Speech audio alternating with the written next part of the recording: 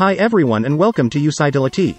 Today is special we are on the way to see how to run Animal Restaurant on PC, as you can see now you are displaying it on your screen. It takes almost no time to simply download and set up Animal Restaurant and enjoy your game on the Windows computer with gamer keyboard if we want to, mouse and big screen. So it's time to have fun, let's get to it. Before anything else folks, to start we need to launch our favorite browser. We have here the one we use by default. Let's continue, going to that URL I have highlighted in green color. Now, you can see on the screen. There is no need to type it, simply because there's the clickable link in the description of this video and as well in the first pinned comment. We ended up here on our own internet site of Usitility, at which we get a precise explanation on the best way to download and install Animal Restaurant on laptop or computer. We search down a tad and press on the Download Game on PC button. After we click on the link, we arrive here on the site of BlueStacks. No panic, it is simply the Android emulator that we are going to use to enjoy the game Animal Restaurant on the PC. As you can discover from here we get a great deal of pros of preferring using that emulator. So we will start downloading the Animal Restaurant by simply clicking on this button play on BlueStacks that you can visualize here in green. Next step is clicking on the button. Of course, the download takes no time at all. Voila! Here is located the download. It's a file to execute. What we have to do is to run the executable file. Okay, then we need to click on the file. Windows 10 users will be asked for permission to make modifications to the system. We have clicked yes. I minimize the browser to find the installation software better. The installation software is pretty simple. It contains two possibilities, install and setup path. I am going to describe what setup path really does. We simply just simply click on it. And so we see that we, they got here the path where the emulator can be set up. If we choose to modify this folder we have got to click on that Browse option, so we decide on another folder and set up the emulator where we would like. I prefer to set it as it is. I click on Back. Therefore I click on Install. Fantastic. The installation commences and it's going to progress together with the download of those megabytes that happens to be represented on our computer screen. At the time you save it on your machine, it is likely to be a bit more or less megabytes. The download speed can be at a higher speed or at a lower speed, depending on your type of connection and depending on the speed of the emulator web servers. Now they are going super fast. The download is completed, and at present it continues with the setup step. The installation will require a little bit more or less time based on the strength of your laptop or computer. The more robust it's actually, the faster the software installation time and vice versa. If we merge the download and software setup stage it will take quite a long time, so have patience. It has already ended for me. At this time, the emulator has been started immediately. As you can see now, down here, we have a progress bar which will move forward to the right so when it attains the end, the emulator is started for the first time. The fact is that the emulator has already been started, here for the very first time.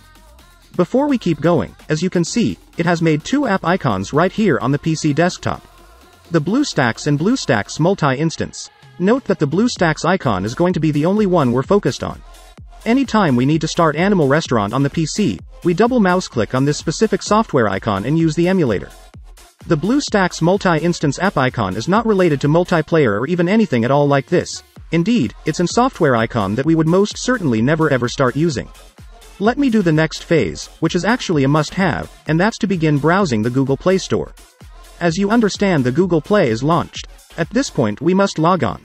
Currently when we're right here, we must absolutely begin doing the next step that is definitely imperative. Therefore just click on, sign in. At present it says, checking info. It could in some cases get stopped at checking info, and this doesn't move ahead. In this case, you can attempt to connect to your account after a number of hours but it will surely most likely be repaired. At present we are going to provide our email and password. The email needs to be a Gmail email as well as its matching password. As an example you could use the very same email you're using currently in your YouTube account. Therefore I will type in my info and I will revisit when I have done it.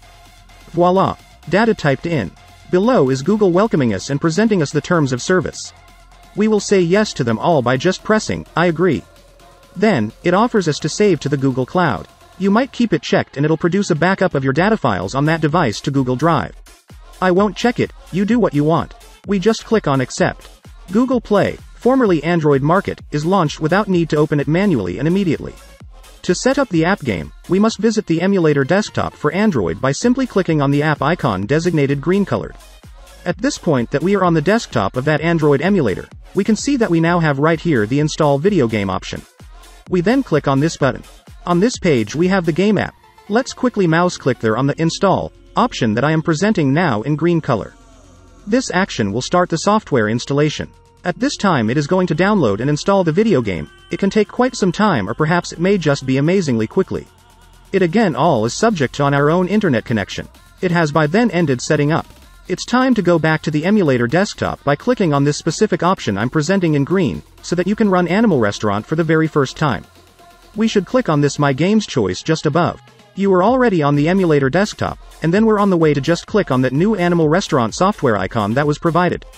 Your game is started for the first time on your device. Here we get it. I could click anywhere on the screen and also make use of the keyboard. I have to comment on the sound level of this emulator. This is here. We have got the icon of higher volume and also the icon of lower volume. This manner we do not use the Microsoft Windows volume to increase or decrease the music of your emulator. And also to enjoy the experience to the maximum, we should activate the big screen, for which we have two options. This one is the very first one, we mouse click on that software icon that I'm designating in green color. Thus the screen is maximized, experiencing one border on top, one at the right and one at the bottom. If ever we want to run the app using all the screen, we hit this particular app icon. And we'd presently be experiencing the gameplay in full screen setting. To leave the complete screen functionality, just click the F11 key. And so we would currently end up being in standard computer screen mode. At this point, I am going to demonstrate you the keys mapping and that is actually quite appealing. That strategy we definitely will be in a position to operate the game application far more effortlessly. The first thing is to press this application icon and at this time there you will be able to complete the appropriate setups. I am about to keep the default settings, though if you plan to adjust that, you may well do so without having problem. Obviously, the emulator is completely in our own language. Occasionally it occurs that the emulator is started in the incorrect language, such as, in Japanese. And so to set it in the proper language we click here to the cogwheel. And thus here throughout various other configuration settings, we just click on the language, drop down. We should opt for the language we need, Italian, Mandarin, and so on. After the language is determined, we are going to save, the emulator will restart, and the game application, next time we start it, would as well be in the chosen language. Presently, there is another thing that we need to take into consideration, and it's that we will receive an email telling you that a completely new electronic device has been associated with our own Google account.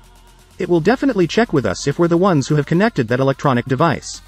That's right, we ought not worry, considering that the emulator is simulating an Android smartphone or tablet.